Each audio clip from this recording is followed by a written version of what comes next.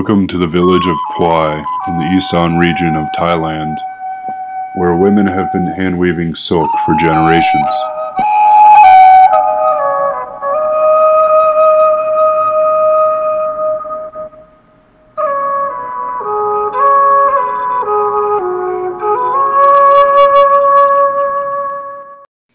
The production of raw silk began in ancient China over 5,000 years ago and was brought to Thailand as the Thai Lao peoples migrated from their ancestral lands in southern China into present day Laos and Thailand.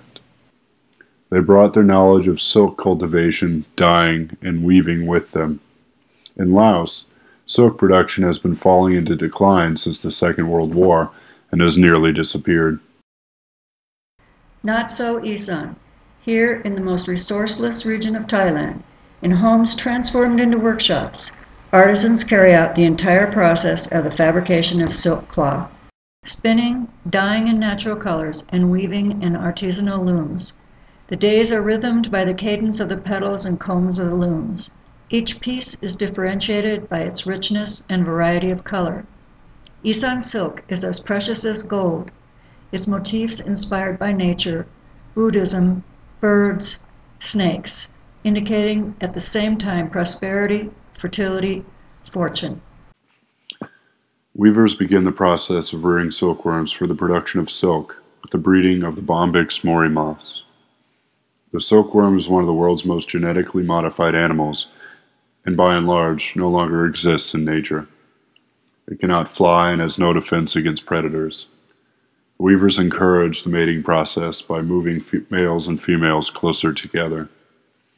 The eggs are laid by female moths within 9 to 12 days. Eggs take about 14 days to hatch into larvae. The larvae are then placed on a bamboo tray and fed pieces of mulberry leaves. The tray is covered with linen and placed in the shade. The worms shed their skin four times during this stage, eating increasing amount of leaves as they grow. Between three weeks to a month, the tiny larvae have grown to about three inches and are ready to make cocoons. They are placed onto a flat, circular surface made of bamboo, which is embedded with successive ridges. Here the larvae begin to envelop themselves in silk, creating a protective shield from the elements.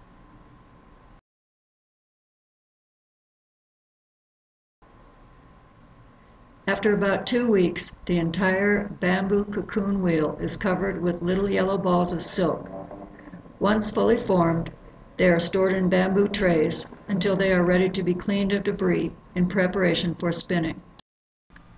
One of the wonders of bombyx cocoons is that they are spun by the caterpillar in a single unbroken strand, which is bonded together by a protein called sericin or silk gum.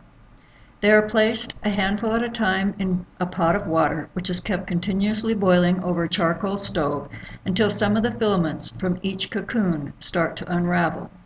A spindle is mounted on the pot. The weaver unwinds the tiny filaments from several cocoons at a time. As they are pulled around the spindle, they are spun together, creating a sturdy and durable silk thread. The silk gum must then be removed. At one time a laborious process, this is now done chemically. The result is a silk close to the color of cream. After the cocoon has been fully unraveled, the boiled silkworm is then eaten as a snack, leaving nothing to waste.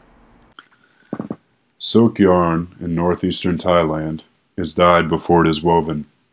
For generations, they use vegetable dyes produced from the materials collected from the forest and surrounding areas. Coconuts produce brown dye. Indigo produces blue. Jackfruit tree leaves produce yellow, etc. The substances are soaked in water for a day to extract the colorant, and then the solution is strained of solid matter. The threads are then placed into the dye, making sure that every thread is completely saturated. This dye bath is then set to boil over a fire for about an hour. The threads are often turned over during this time to ensure complete saturation. The weavers of Bon Puai provided a demonstration of many of the natural dyes found in and around the village. Kang is the inside lining of a tree that produces a red dye. Anchan flowers make an indigo dye. By themselves, these flowers also produce a silver dye. When the dye is boiling, vinegar is added to make a deep purple. Ma klua is an edible fruit that grows on trees. The silk is soaked in a slurry of mashed berries and left to bake in the sun several times until a jet black is obtained. Kenya is another inner part of a tree that is traditionally used to make monk silk robes. The inner bark of a K tree produces a highly valued light golden dye so sought after that it has been overharvested. At present, it can only be found in Surin, a province that borders Cambodia. Although natural dyes can produce silk in vibrant colors, such fabric fades with repeated washing. Chemical dyes were introduced to the Thai silk weaving industry by Jim Thompson in the late 1940s. This helped the silk farmers and weavers compete with Japan and Europe, producing for them a more stable income and allowing many to continue their craft. The region of Isan is most known for its mudmi silk. It is a form of resist dyeing of the silk threads before weaving occurs. This technique results in amazingly intricate patterns woven right into the fabric. To achieve a specific pattern in the fabric, threads are dyed in groupings. These groupings are stretched onto a frame. The areas that must resist the dye, that is, the portions of the threads that are not meant to be dyed, are tied off with plastic.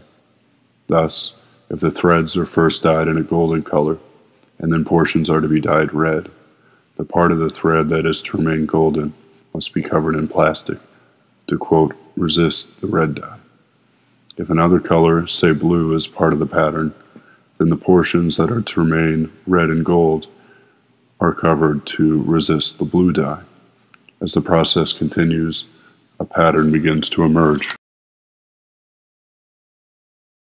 Isan weavers use foot treadle floor looms.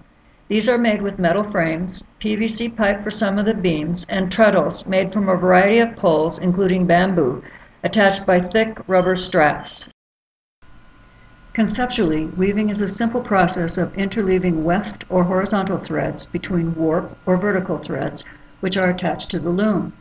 In practice, just warping the fine silk threads onto the loom involves a number of steps is a time-consuming and highly skilled process. The weft or horizontal thread is passed back and forth between the warp or vertical thread by hand using a plastic shuttle containing the warp thread on a spindle. Isan weavers constantly change the weft threads which have been tied using the Mudmi technique to achieve a specific pattern.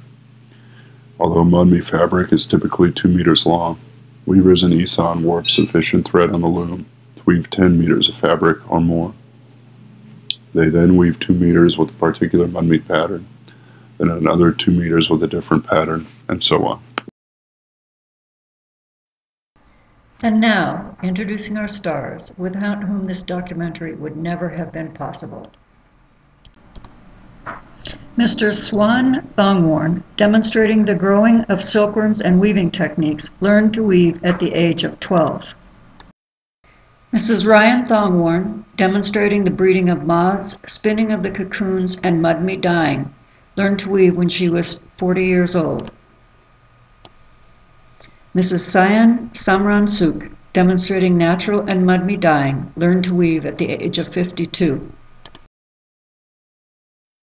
Mrs. Janen Sang, demonstrating mudmi weaving, learned to weave when she was 40. Ms. Sabi Nen Singh has been weaving since she was 18 years old.